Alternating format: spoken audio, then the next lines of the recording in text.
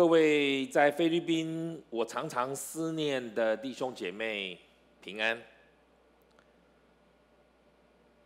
我常常思念你们，也知道你们很多的状况，知道很多的童工确诊，很多弟兄姐妹已经非常辛苦的过了两年的时间，啊，想回国不容易，生活很辛苦，可能关在一个很小的房子里面，不太能出去。而菲律宾的环境不是那么的好，常常为你们祷告，愿神赐福你们。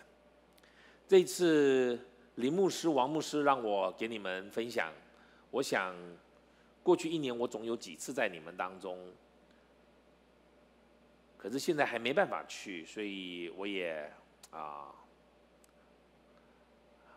很想要跟你们分享神的话。那因为林牧师也打电话给我，王牧师也跟我说了，所以我就在这个主日跟你们分享神的话。从去年开始，我就开始讲约翰福音了，但是我们只讲了一堂，以后我们就没什么机会。那今天我要用约翰福音第一章的一到十八节来跟你们分享道成肉身的耶稣。我上一次分享了一章的一到五节、十四节，二十章的三十三十一节，讲了生命之道耶稣。今天我要来讲有关神儿子耶稣基督和我们的关系。关系是很重要的。当你有关系的时候，其实那件事情或那个状态就得到了一个比较舒缓的状况。可是，当我们没有关系的时候呢？你全部都要照规则来，其实是规则是防避用的，也就是造成困难，所以我们想出来一个规则，让它可以不发生问题。可是关系是什么呢？关系是我真的认得你。你知道，如果林牧师打电话给我，王牧师打电话给我，跟我说李长老给我们分享好不好？我立刻说好。原因是有关系，这个不是走后门，有关系是因为我认识你们，我在你们当中已经从头一天，事实上这个教会是我建立的嘛，对吗？所以我对你们很了解，因为有这层关系，所以我立刻会答应。那我也我也不是说马尼拉或者是菲律宾其他的教会请我，我就不答应，我我我不是这样。但是照规则来，什么叫规则来呢？我要知道你们教会在哪里啊？你们教会的成员有哪些？大概是怎么样的教派？然后我再决定说我适合不适合。所以关系是很重要的，亲爱的弟兄姐妹，我们跟耶稣的关系是怎么样的关系呢？或者我们就说，在约翰福音一章一到十八节，到底耶稣显现什么？所以我今天要跟你们讲的题目叫做“道成肉身的耶稣”。约翰福音第一章一到十八节是一段非常非常丰富的经文。有人说，约翰是写完了约翰福音全部以后，最后再来写约翰福音一章一到十八节作为前言。这一段也把整个约翰福音的内容做了一个概括性的说明。我我我同意这种说法，而且我觉得这个说法太有道理了。因为通常我们看一本书，你要把一本书看得很仔细，你要逐章、逐段、逐句、逐字的去念。可是有的时候我们看一本书哈，你不知道这本书要要讲什么，所以你要怎么样理解这一本书的大概的内容呢？那你就要去看序，他序言说什么，你就可以知道这本书的目的跟他写作的方法是什么。约翰福音一章一到十八节是在讲什么呢？到底约翰福音的目的是什么？它最主要介绍的是谁？那么我们说，约翰福音一章一到十八节就是整个全卷的一个浓缩。现在我请你和我一起，我们把它念一遍，然后我们从中间我要挑几节来讲。好，我们来念一到十八节。太初有道，道与神同在，道就是神。这道太初与神同在，万物是借着他造的，凡被造的没有一样不是借着他造的。生命在他里头，这生命就是人的光，光照在黑暗里，黑暗却不接受光。第六节，有一个人是从神那里来的，差来的，名叫约翰。这人来为要做见证，就是为光做见证，叫众人因他可以信。他不是那光，乃是要为光做见证。那光是真光，照亮一切生在世上的人。他在世界，世界也是借着他造的，世界却不认识他。他到自己的地方来，自己的人倒不接待他。凡接待他的，就是行他名的人，他就赐他们权柄，做神的儿女。这等人不是从血气生的，不是从情欲生的，也不是从人意生的，乃是从神生的。道成了肉身，住在我们中间，充充满满的有恩典和真理。我们也见过他的荣光，正是父独生子的荣光。约翰为他做见证，喊着说：“这就是我曾说，那在我以后来的，反成了在我以前的，因他本来在我以前。”从他丰满的恩典里，我们都领受了，而且恩上加恩。律法本是借着摩西传的，恩典和真理都是由耶稣基督来的。从来没有人看见神，只有在父怀里的独生子将他表明出来。就是因为这样，所以约翰福音第一章一到十八节是非常丰富。因为它是前言，它是把整本圣经浓缩起来，因此将来我们慢慢的讲约翰福音的时候呢，我们还会回到这里，因为这就是个总纲。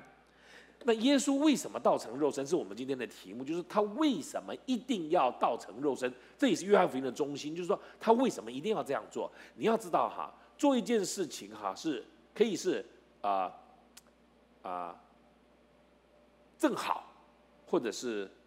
我想要，或者是啊就这样，或者是啊碰巧，可是为什么一定要做？特别是一件怪怪的事情，为什么一定要做？一定有个原因的。耶稣为什么道成肉身呢？那我的意思是这样，他一定要神一定要变成人的样子吗？他为什么一定要神一定要变成人的样子呢？他不做人的样子，可不可以拯救世人呢？在我这个小小的脑袋里，我认为是可以的。我认为是可以的。当然了，神学家一定告诉你不可以啦，因为因为神学家他们是研究圣经跟神学嘛，对吗？但我认为可以，是我认为神无所不能，他要怎么样他就怎么样，他说这样就这样，说那样就那样。那当然，圣经里面启示出来耶稣是要道成肉身的，那是神学上的理由。哦。可是我们当中也没有人看过耶稣啦。我们当中现在的人，对吗？你说神学上有道理，那就是给他神学。可是我们一辈子没有神学，也活到底了。我也信耶稣了，我也进天堂了。所以神学的理由，我认为对我们来说只是最后的那个那那道墙。可是对我们到底有什么关系呢？这个更重要。也就是今天耶稣为什么道成肉身，跟我有什么关系？或者我应该这样讲，耶稣道成肉身跟我的今天有什么关系？那至于神那边说啊，因为耶稣基督钉在十字架上面赦免了你的罪，把你救赎走，那这个没有问题。那后背后要怎么做我不知道，但我要知道的就是说，为什么耶稣要道成肉身？这跟我有什么关系？而从这里面呢，我们来看十四节，这里讲到道成了肉身，住在我们中间。充充满满的有恩典有真理，我们也见过他的荣光，正是父独生子的荣光。我们需要知道这是约翰写的，约翰是耶稣的门徒，约翰三十几岁，耶稣也三十几岁，他们认识。以后耶稣带了约翰，他们在一起，就约翰做了他的十二个门徒，三个门徒其中一个。约翰最后把耶稣的妈妈接到他家里去，耶稣钉十字架复活升天以后，然后约翰活了最久，他活到差不多九十多岁。启示录也是他写的，而这本约翰福音，它的重点在说，我要讲一讲，他认识耶稣两三年，耶稣就死了，复活了，升天了，就走了嘛。然后他又活了六十年，这六十年当中呢，前三十年他的其他的兄弟们、使徒们都死掉了，所以他比别人多活了二三十年。你觉得那个二三十年孤单不孤单？要是我，哼，我宁愿先走，嘿，留下来谁留下来谁倒霉，谁留下来要替别别人做追思礼拜，最后剩下孤孤单单一个人。可是他就是这样被神留下来，而他在这里讲到一件一件事情，是别的圣经里面没有提的很清楚的。他说道成了肉身，道就是神哦，神成了肉身，神就是耶和华神哦，成了肉身就变成耶稣基督住在我们中间，充充满满的有恩典和真理。我们他就讲的是我们是指他们呐，他们就是约翰和他的门和他的那些那些那些兄弟们，就是那些使徒们。他说我们也见过他的荣光，正是父父独生子的荣光。这是约翰写约翰福音的整个的重心。约翰福音整个的重点在讲到耶稣基督成了肉身，他是神，但他却取了取了人的形象来到我们当中，住在我们当中和人生活在一起。耶稣在地上的生活和生命显明了，他是一位有恩典、有真理的神。在这里说到的。约翰说：“我们也见过耶稣的荣光，他就是父独生子的荣光。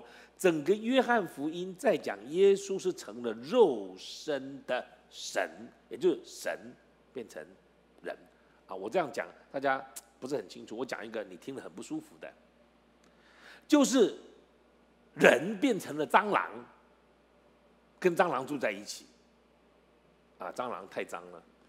呃，人变成了蚂蚁，跟蚂蚁住在一起。”要让蚂蚁知道人有多爱蚂蚁，不舒服吧？我相信你一定很不舒服吧？可是只有蚂蚁可以跟蚂蚁说话啊！你跟蚂蚁说话，蚂蚁不懂啊！你怎么爱蚂蚁？蚂蚁你帮蚂蚁做窝，蚂蚁也不一定满意啊！所以神怎么向我们显明？在约翰的概念里面，他就是道成的肉身。那耶稣为什么一定要道成肉身呢？他为什么一定要道成？他他可不可以不道成肉身？当然了，我我刚才前面讲了嘛哈，他当然可以不要啊，他为什么要做肉身呢？为什么变成蚂蚁呀？我要救蚂蚁，我不会把蚂蚁好好的养起来啊，我不会把它养在实验室里面啊，我我我干嘛要变成蚂蚁呀？所以他一定有个道理。那从这段圣经我们看四个，四个，第一，耶稣来表明了父神，耶稣来表明了父神，耶稣为什么道成肉身呢？因为他要来到地上表明上帝，他来要彰显上帝。约翰福音一章十八节说：“从来没有人看见神，只有在父怀里的独生子将他表明出来。”第十四节的下半段说：“我们也见过他的荣光，正是父独生子的荣光。”来，我们讲约翰福音的时候哈，我们不能脱离那个、那个、那个、那个、那个当时的背景。我们今天来读这个不是很明白，需要经过解释。这就是为什么我们需要讲道，因为约翰在当时主要是写给犹太人看。或者当时已经接触到基督信仰的这些所谓的非犹太人，而一般人呢，一般人呢，包括现在的一般人呢，都是基本上是有神的概念，就是会有神。我我们的概念就是有神。那无神论是很难的，因为无神论是人想出来的，基本上都是有神。那因为人生下来就觉得很奇怪嘛，这个世界怎么会这样，对不对？那怎么来的呢？然后人很快就发现说。人是最伟大的，可是那有比谁比人更伟大呢？地球呢？太阳呢？所以我们就开始讲有外星人。你知道，包括有外星人都是有神的概念，就是有人超过我们。好，有神是人基本的概念，有这种概念。那在当时他们是有神的，而在旧约里面从来没有人看见神，而基督是把它表明出来。约翰说，从来没有人看见神。他的意思是在旧约的时代，只是模糊的部分的不完整的认识神。可是当耶稣来的时候，他是要把神要人认识的他自己全部让人看见。这里有表明出来，表明是一个很很很特别的字，说借着父怀里的独生子，就是耶稣把他表明出来，他就是神，就是把神表明出来。好，这个表明这个字在新约一共出现过六次。而五次都翻成诉说，就是说出来，只有一次翻成表明。为什么？因为他上下文说，只有借着父怀里的独生子将他诉说出来，也不能说错，对不对？按我们中文也可以理解。可是表明出来，让我们更理解。因此，这个 NIV 圣经就把它翻成 make him known，就是被人认识，就是只有借着父怀里的独生子，让人认识神。让他被大家知道，也有人说 declare him，那就是更简单了，就是诉说出来了，宣告出来了。也有人说 explain him，就是解释出来，就是说耶稣是解释出上帝。那当然，我最喜欢是叫 reveal，reveal 就是显示、显明了、显明了、显明了。因为没有人能够认识神，也没有人亲眼看过神。耶稣来的人的当中是要把人是要把神显明给人看。为什么耶稣要这样做呢？为什么神要让人看见呢？我我我跟各位讲啊，因为这是人的限制。人如果没有看见一个东西，他很难想象那个东西。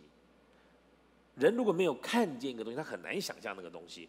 他如果没有真实认识一个东西，在他里面对这件事情事物的认识，就是一个模糊的概念。模糊的概念，我讲一个例子哈。九零年代啊，九零年代我们当中可能有人九零年都还没出生呢。九零年代初期呢，我对纽约的认识。是一个模糊的概念，因为纽约，我是从书本、从传播媒体了解的。后来我有机会就到了纽约，我在那边住了一段时间，我对纽约就有一个非常清楚的概念。因为住了一段时间，所以它的就是特别是那个曼哈顿那个地方，东西南北路是怎么画的，大概什么地方是什么，我大概就知道了，因为不是很大的一个地方。到了现在二零二零年代，所以我三十年了。这三十年我每一年都有去纽约，那因为服饰的关系我就去了。啊，连疫情二零二零我竟然一月在那边，二零二一去年应该没有机会去嘛，就但是我要去服饰就去了。所以我竟然十二十几年没有一次，没有一年没有去。好，因为对于这个熟悉的哈的缘故呢。我就知道真的有纽约，那我相信你也相信有纽约，对吗？可是你的你看过的纽约都从电影上看的，杂志上看的，我看的是真实看的，你知道这两个很大的差距。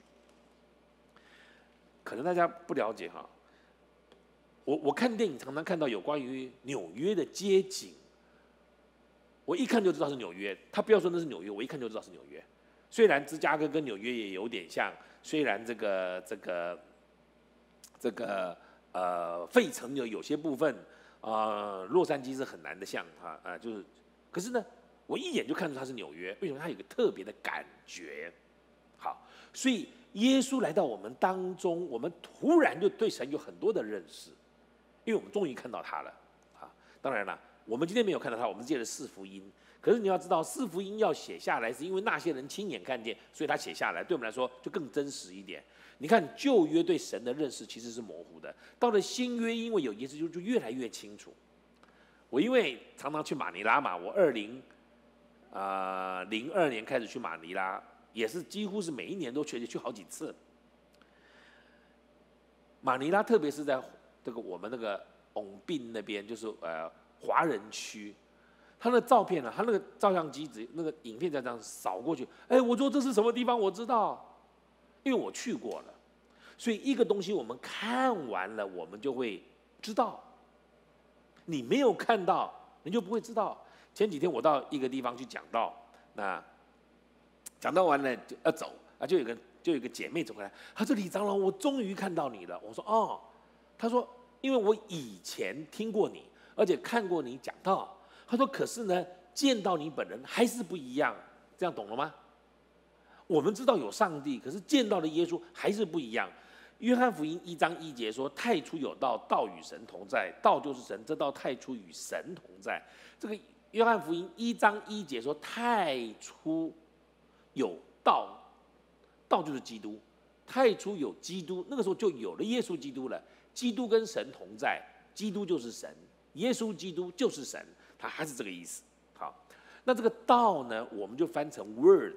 当时，word 就是话，哈，logos 就是话，哈。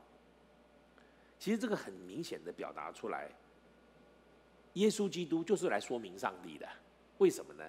因为哈，你听一个人的讲话，你就知道是这个人。那很多啦，今天在帮我录影的是我们教会的一个一个一个传道，我不需要看到他。有的时候我在听一个东西。像今天早上我听到他在唱诗，他其实很多人在唱，可是他一唱我就听到他的声音了，或者他一讲话我就知道是他了。为什么？因为因为话，你知道话不不仅有声音，而且话它有内容。我们每一个人讲出来要描述同一个东西，我们用不同的角度在描述的，而我们一描出来，别人就知道了。好，因为人的限制，人对一个有看见跟没看见差距很大，因为这个缘故，人就对神很难认识清楚。在全世界各地，古今中外的人，即使不知道有耶稣基督，大概都有神的概念，对吗？有有神这样哈。或或者说有这个宗教的神，那个宗教的神，可是耶稣基督道成肉身这件事情，就是一位神，或者那位神，the 唯一的神，他化成的肉身来到我们当中了，那他就把神显明出来，彰显出来。所以约翰说，耶稣是把神表明出来。刚才我们所给你们看见的，耶稣来表明了父神，这是非常重要的一件事情，因为耶稣把神表明出来了。也就是说，竟然当时有人亲眼看见，然后约翰因为他自己写的嘛，他说我亲眼看见，我亲眼看见。他在另外地方还说我亲手摸过。你你要知道，亲眼看见、亲手摸过是差很多的，是差很多的。所以当你摸到的时候，你就说哦，就是这个东西。好，这是耶稣来的第一个目的。这个。可能跟我们还没有绝对的关系啊，就是有一位神，他透过一个人把它表明出来了。这第一，第二，但是呢，耶稣来第二个目的呢，在这一段讲到了，就是耶稣来是赶走人心中的黑暗。耶稣来要赶走人心中的黑暗。约翰福音第一章第四节、第五节说：“生命在他里头，这生命就是人的光，光照在黑暗里，黑暗却不接受光。”生命在耶稣的里面，这个耶稣的生命，或者他所要赐给人的生命，就是光，是给人的光照在黑暗里，黑暗却不接受光。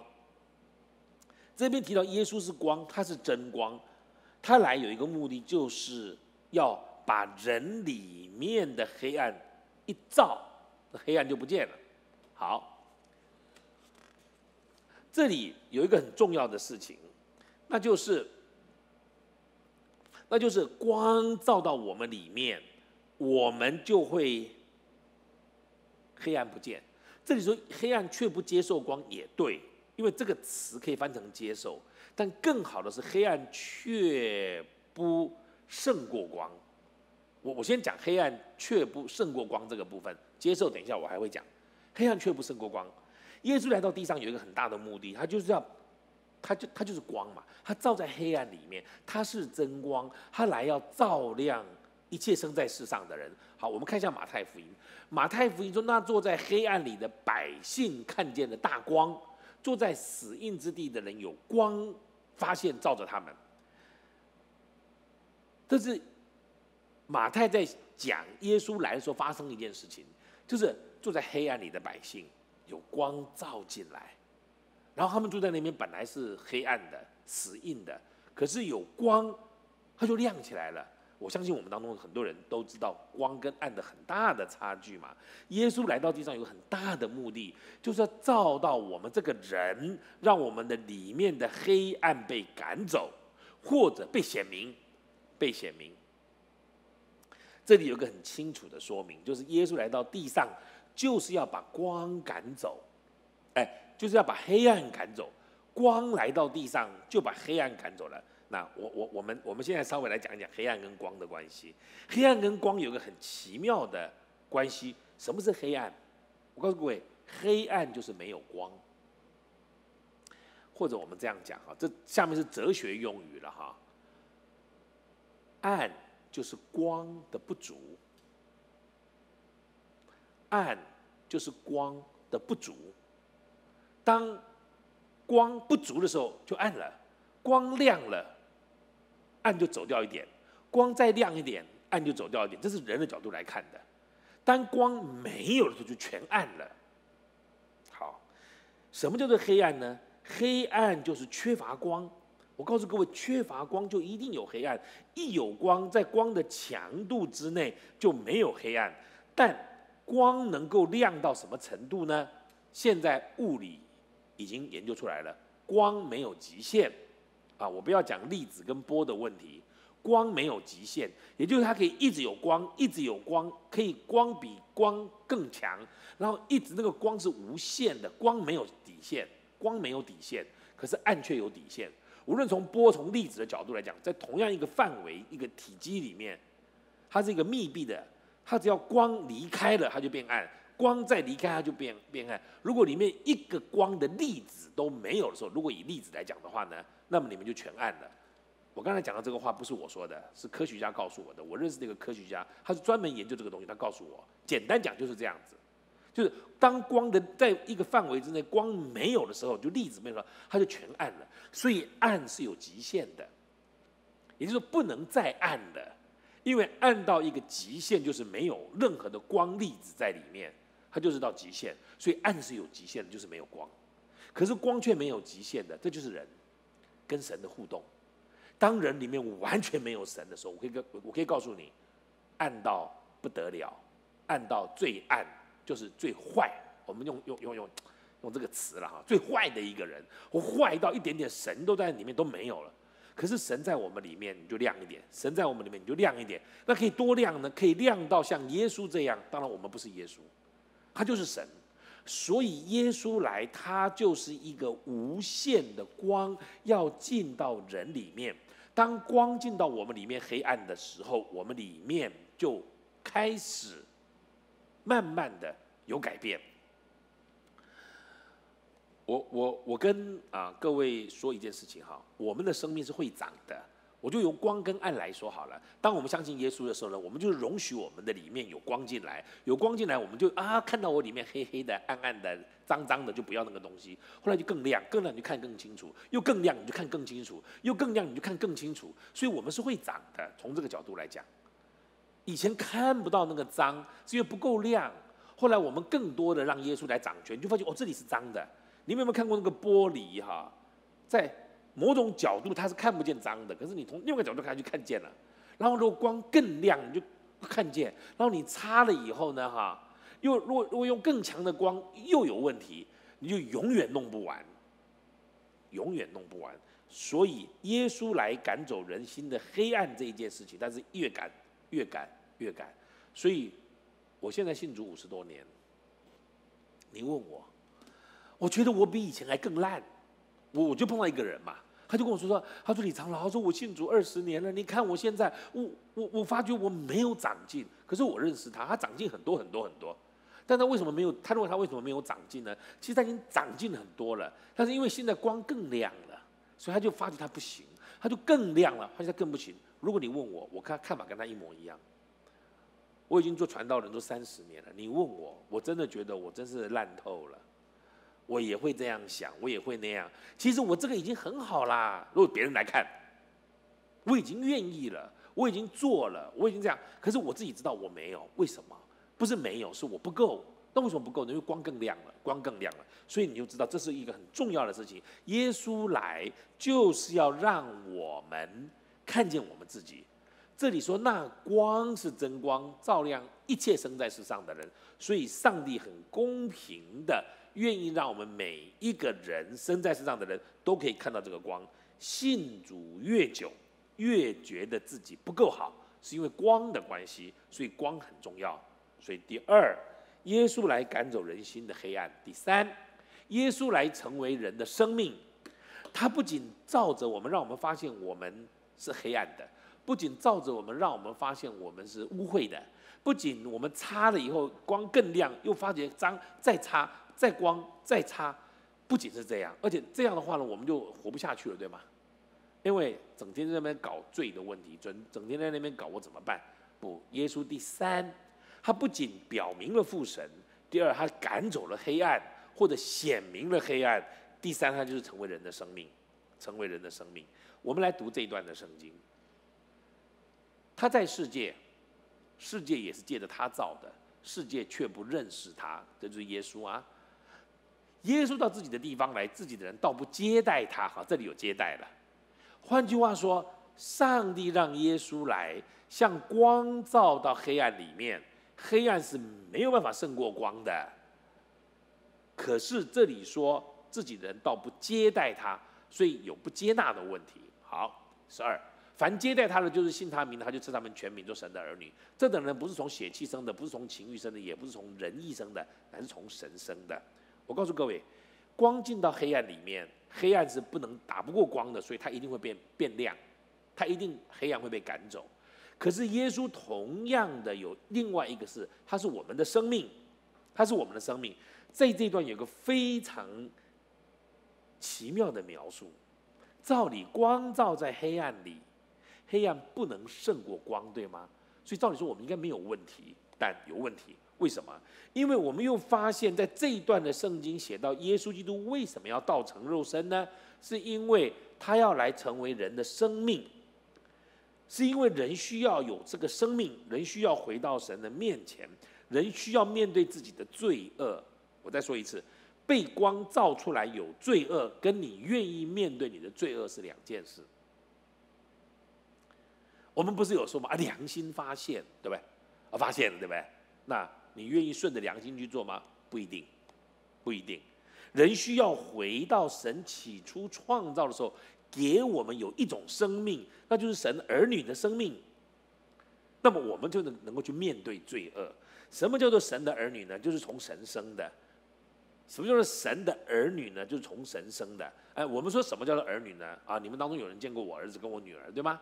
他们是我的儿女，是因为他是我生的，所以我生的就有我的生命，我的生命在他的里面。可是当人犯罪、软弱、跌倒以后呢，我们就不认神做父，我们认贼做父，以后我们就不承认他。耶稣来是要再一次把我们那个生命弄清楚了。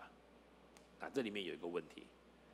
你可以一辈子不认神做父，虽然他是我们的父，他是我们的创造者，可是我们可以一辈子不认他，因为我们就继续做我们这个人。所以上帝给我们一个机会，就是上帝要让我们愿意接受他，就其实是再一次愿意回到神的面前。当然了，黑暗被光照耀，一定就显出黑暗。可是人愿不愿意？回到神面前呢，这里面有个自由意志的问题，就是神也把这个给人，就是让人可以决定你愿不愿意发现自己是一个罪人之后回到神面前，你愿意不愿意？这个是耶稣来一个很重要的，耶稣让我们看见神造人的时候，给人一个很清楚的自己可以决定的自由意志，而在这个自由力意志的里面，人可以决定继续发现自己的坏，而留在那个坏里面。人可以决定，人可以决定不要，人也可以决定要。从一个角度来看，人必须愿意接待神，愿意接待神，愿意接受神的儿子耶稣基督，他才能够做神的儿女。原先神给亚当有生命树跟分别的善恶树，他说分别善恶树是不能吃的，可是他选择吃了以后，他就远离神了。但是他可以借着另外一次的选择回到神的面前。也就是当我们被光照了以后呢，我们发现里面有黑暗的时候呢，我们愿不愿意跟神说？那这样我愿意回来。所以耶稣来到这样一个很大的目的，就是让人可以承认他，让人可以接受他，让人可以承认自己在黑暗的里面，然后打开心门让光进来。黑暗当然不能胜过光，可是如果我们不打开心门，让耶稣的光进来，不然他也进不来。那我再用一个。形象的比喻了哈，如果这个盒子里面是没有光的，它再有个门，光已经照了这个盒子的外面，这个盒子需要把门打开，或窗打开，然后光就进去了。换句话说，我们还是可以保有自己。亲爱的弟兄姐妹，不仅是在第一次相信的时候，你需要打开心门，而且在往后的日子里面，你要知道神要这样，然后我们愿意接受，接受。所以，耶稣来成为人的生命这一件事情，有一个接受。从我们人来看，每一个人都有一个生命点，有一个时间点，就是接受耶稣基督的时间。神拣选人是在万古之先，可是人显示出自己被拯救，却有一个时间点，那就是接受耶稣、信他名的人。所以他说：“凡接待他的，就是信他名的人。”亲爱的弟兄姐妹。当你看到这个视频的时候，可能你大部分的人是基督徒了。可是我希望你再一次的说，是我接受耶稣基督做我生命的主，因为这样的说法会让你的那个门打开，然后让光进来。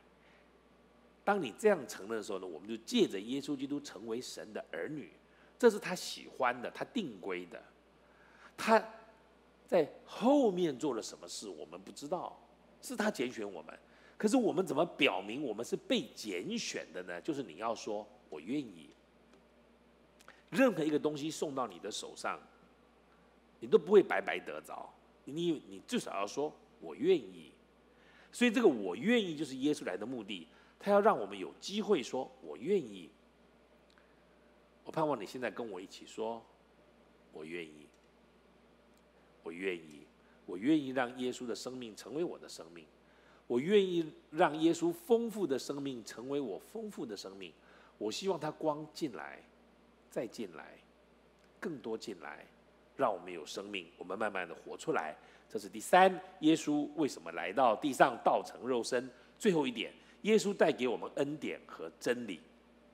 我需要讲一讲这个，这个很棒。耶稣带给我们恩典和真理。那这到底是什么意思呢？约翰福音一章十四节说：“道成的肉身住在我们中间，充充满满的有恩典有真理。”刚才我们讲道就是耶稣基督，耶稣基督成了肉身，肉身就是就就这个意思啦。啊，我今天特别穿着西装来，在我自己的教会讲到，我不需要穿西装，可是因为习惯性我们在菲律宾呢都比较正式，所以呢我就穿着西装过来，特别还挑了还挑这个漂亮的领带给你们看，啊，这叫肉身呐。如果我没有穿衣服，或者我不是一个人，他就不是个肉身嘛。那我这就是个肉身，道成了肉身，就是耶稣基督变成像我们人这样的一个样子，住在我们中间。那是当约翰讲的嘛。现在耶稣并不是用肉身住在我们当中，但当当时约翰是住在耶稣同一个年代、同一个地区，所以他们看到了。他说道成了肉身，耶稣基督成了肉身，有肉身的道。住在约翰他们当中中间，充充满满的有恩典和真理。这个恩典和真理，十六节十七节，从他丰满的恩典里，耶稣基督恩典里，我们都领受了恩典，而且恩上加恩，就是更多恩典的意思。他说，律法是借着摩西传的，恩典和真理都是由耶稣基督来的。他说，律法是摩西传的，这是旧约当时他们的状况。恩典和真理都是借着耶稣基督而来的。在这边，我们发现耶稣基督为什么道成肉身呢？因为他要带来恩典和真理。为什么这边要说恩典和真理呢？是因为他们当时只有律法。其实律法非常好，为什么呢？因因为哈，因为律法反而容易遵行。就是说这件事情应该是这样的，那我们就很简单嘛，就应该这样。比如说。买东西要给人家钱，那你就是要要给人家钱嘛，这就是就是的。他定价对不对？五百披索，你就要给人家五百披索啊。当然你可以杀价啊，三百五可不可以？四百可不可以？他说好，那规则就是你讲好了钱就要给人家，叫做规则。其实律法是很好的，可是十七节说律法是借着摩西传的恩典和真理，都是从耶稣基督来的。耶稣基督带来恩典和真理。神的恩典和真理，就是借着耶稣基督。其实耶稣基督本身就是恩典和真理。可是这是什么意思呢？它相对于律法，律法是借着摩西传的，这是什么意思呢？因为律法就是写下来的恩典和真理。可是你要知道哈，很奇怪一件事情就是啊，一个东西一写下来之后哈，它就会变，变什么呢？因为律法写了恩典跟真理。他一写完之后，它就变成文字以后呢，我们的脑子去接受那个文字的时候呢，就会离开那个恩典跟真理的本身。那这个即使是在今天，我们也是这样。我们说要彼此相爱，然后你就说，那怎么样彼此相爱呢？彼此相爱是恩典跟真理嘛。可是你一当你写说彼此相爱这四个字写下来的时候呢，那就你解读彼此相爱，跟我解读彼此相爱就有不一样，对不对？那我会说啊，你会说说啊，我们彼此相爱，李长老。那我有好吃的，我分你吃，你认为这叫彼此相爱？那我解释彼此相爱就不是这样喽。哎，我跟你在一起，哇，你也开好车，哎，那你的车给我开好吗？你看我也说是彼此相爱啊。所以彼此相爱这东西一写下来之后呢，就会让恩典跟真理被放大或缩小。这是一个形式跟实质的问题。实质的东西不能不借着形式把它定出来，对吗？可是你一定以后它就变质。所以当时因为神不能让人看，神也不让人看，他们也没有能力看，他们也没有资格看，看的人会死，所以神就没有让他们看见神。但是他把律法写给他们，就说这样就是我要你们做的。以后他们就写下来了，写下摩西就传了这个十诫，对吗？以后就有摩西五经，然后犹太人就一直照摩西五经做，可是越做就越偏离恩典跟真理。以后神的做法就是让耶稣基督来到我们当中。十六节说，从他丰满的恩典里。我们都领受了，而且恩上加恩。他的意思就是说，律法本来也有是恩典嘛。你看，律法当然是恩典啊，律法不是有献祭吗？律法不是有很多？可是那个恩典呢，就被限制在那个律法的文字里面。可是耶稣来超过了，比如说安息日，对吗？安息日，他们把它解释成安息日手枯干的都不能医治。耶稣说没有。安息日不是这样解释的，安息日是叫你心里安息。但是有一个人手枯干了，那一天让他得医治，就不仅是那个人得安息，我们看到人家手枯干了，现在变成好了，我们也得安息嘛。所以他是恩上加恩，他是丰满。所以律法本来是要表明恩典跟真理的，但是他表明的时候被我们限制了，因此之故。耶稣来说：“他说，他说我来没有要废掉律法哦，你们不要搞错哦。他说我来，他说律法一点一画都不能废去，要成全，什么意思啊？那他来不是改变很多吗？他来没有改变很多，他把那个律法弄活了，也就是律法被我们弄死了，人受这个限制，所以耶稣来到地上，他是要把律法弄完整了。呃，什么叫做完整呢？就是恩典跟真理。”律法本来是表达恩典跟真理的文字，可是被人限制，或者人被限制，或者我们每一个人被自己限制，所以那个律法就死了。所以耶稣来就把律法弄活了，怎么样？借着恩典跟真理，这就是为什么，当我们在不同的国家、不同的地方、不同的年代、不同的人的时候，我们讲讲话不太一样。啊，我常常哈是这样的。我跟 A 这个人讲话是这样讲，我跟 B 这个人讲话是那样讲，我跟 C 那个人讲话这样讲。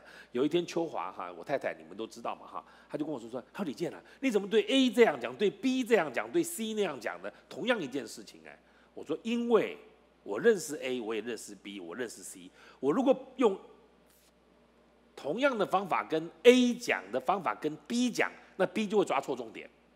我需要按照 B 的状况告诉他。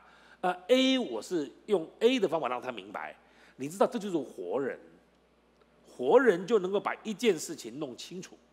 可是如果是死的文字呢，A、B、C 看起来会是照他们自己的解读，反而失去了这个原来的意思。所以耶稣基督是把恩典和真理带出来的。亲爱的弟兄姐妹，耶稣基督为什么来在地上？他为什么要道成肉身呢？有四件事。第一，他来表明父神，就是让当时的人知道说，哦，真的有神。第二，他赶走人心的黑暗，因为他把那个黑暗赶走了，人就有一个光进到里面，就看见了。第三，耶稣成为人的生命，他不仅赶走了黑暗，而且你没办法面对黑暗嘛，他就给我们生命，让我们来面对。第四，他就带给我们恩典。和真理，盼望我们在马尼拉的弟兄姐妹，或者正好有机会看到这个视频的弟兄姐妹，我们都知道耶稣基督在我们的生命当中，我们接纳他，他就会越来越在我们的生命当中掌权，我们就被改变。愿上帝赐福各位，愿上帝赐福你们，在未来的年日里面常常经历他。求你听我们，求主听我们的祷告，让我们可以在生命里面被他得着。我们做一个祷告来做结束，好吗？亲爱的天父，谢谢你，主在这个年代里面，我们知道太辛苦了。主啊，特别是我们这个时代，竟然有新冠肺炎这样子的一个奇怪的病，但是我们知道，这个病反而促使了我们去思想，思想我们的生命，思想我们的环境，思想我们怎么样面对我们在世寄居的日子。求你保守我们，特别在菲律宾疫情这么严重，他们根本都还没办法实体的聚会。求你自己保守他们，经让他们经历到你的恩典，让他们知道你是他们的神。主啊，我求你自己来保守和恩待，也赐福我们今天的聚会，无论前面的唱诗、现在的信息，还有等一下的互动，求你与我们同在，听我们祷告。主耶稣，我再一次谢谢你，因为你来，你赶走我里面的黑暗，并且给我生命来面对。谢谢主，让我知道字句是死的，但是你自己的生命在我里面却是活的。求你听我的祷告，谢谢主，奉主耶稣基督的圣名，阿门。好，愿上帝赐福各位，让各位可以好好的经历神。